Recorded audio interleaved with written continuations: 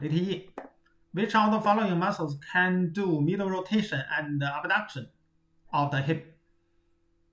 简单直白，以下哪一个肌肉能够做内旋和外展髋关节？A 呢叫做 gluteus and maximus，臀中肌和臀大肌。B gluteus maximus and minimus，啊，臀大肌和臀小肌。C 呢，gluteus medius and minimus，啊，臀中肌和臀小肌。最后一个 piriforms and gluteus maximus，我们的梨状肌和臀大肌，应该是谁呀？哎，臀中肌和臀小肌啊，其实只要考虑这个臀小肌的位置就行了，对吧？那臀小肌可以做内旋和这个我们的这个外展啊就可以了。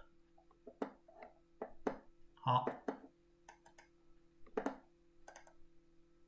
例题二啊，Which muscles 啊，original point as the posterior iliac between the middle infragluteal lines and insertion as the anterior surface of the greater trochanter of the femur。哎，这个说起来很绕嘴啊，大家能不能认出来这道题问的是什么呀？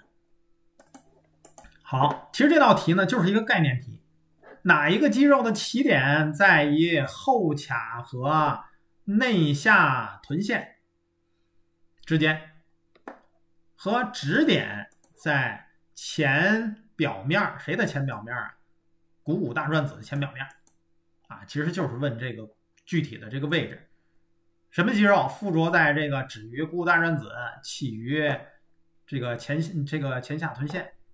这说的就是我们臀小肌啊，概念当中已经给大家介绍过了啊，所以呢，A 呢叫做 gluteus minimus 啊，臀小肌就是臀小肌。至于臀中肌啊、臀大肌啊，还有这个阔筋包张肌啊，全是来配套的啊，完全就是陪绑的，跟它没有什么关系。像这种这个直白的概念题啊，如果考试要碰到的话，就是最好的啊，这是一个最好的。结果啊，完全送分的题啊，只要基础概念注记得熟啊，完全就没问题。好，臀小肌呢就是这么两个不同的这个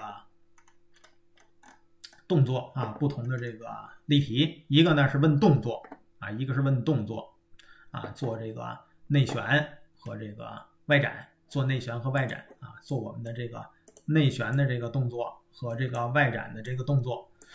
另外呢，它的位置啊，在这个。髂骨和大转子啊，前下臀线和大转子，把这个记住就可以了啊。臀小肌啊，概念也不多。